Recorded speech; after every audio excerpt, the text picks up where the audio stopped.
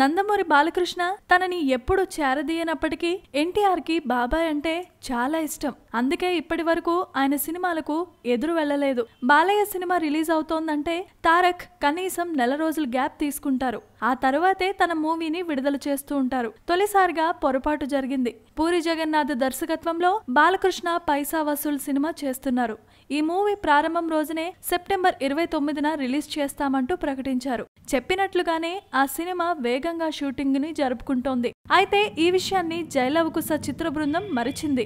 ఎన్టీఆర్ త్రిపాత్రిని అభినయం చేస్తున్న ఈ చిత్రాన్ని దసరాకి కానుకగా సెప్టెంబర్ ఇరవై ఒకటిన థియేటర్లోనికి తీసుకొస్తామని ప్రకటించింది. దీంతో ఒక వారం గ్యాప్లోనే నందమూరి కుటుంబానికి సంబంధించిన రెండు సినిమాలు ప్రేక్షకుల ముందుకు వస్తున్నాయి.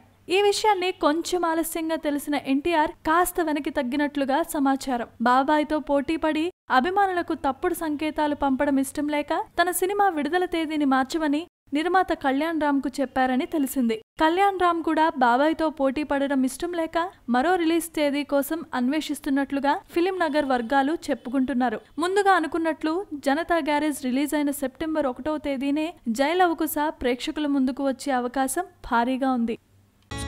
Please subscribe. Hi, it's me Purna. Please subscribe.